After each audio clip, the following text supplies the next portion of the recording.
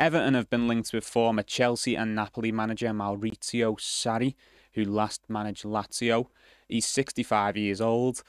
Everton have also been linked to Gareth Southgate. Obviously, this comes after the news of Everton's potential takeover by the Friedkin Group, which has seen Everton linked to numerous managers. Sarri is obviously decorated as a manager, but at 65 years old, we've seen him at Chelsea and he did all right there, but he doesn't really seem to stay anywhere for long. And if Everton are looking to make a managerial change in the future, it may be the case that Everton look towards someone they can build the club around more long term.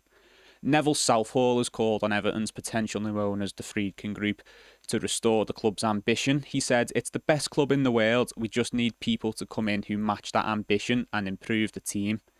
Since we made the decision that finishing 10th was okay, the club has gone downhill from there. The ambition went and it has never come back. Once the ambition went, this is where we are now. Whoever takes over must have the ambition to deliver and make us the best club in the world. And if it's not, then it's not the right person to come in. So Big Nev, obviously someone who understands the importance of standards at a club like Everton and wants to see that from Everton's new owners. Everton midfielder Dwight McNeil has opened up about playing a different role under the manager in the last few games. Obviously, he's been playing a bit more centrally lately. He said, Every time I've played centrally, I've enjoyed it because I feel like I'm always involved in the game. That's the biggest difference between playing on the left in possession, you want to get on the ball and create space for your teammates. Out of possession, you're still always involved in terms of getting back into shape. I've really enjoyed playing centrally for Everton. I know there is still a lot of work to be done in and out of possession, but the biggest thing for me is to improve in that position. I feel like I'm doing that every single game.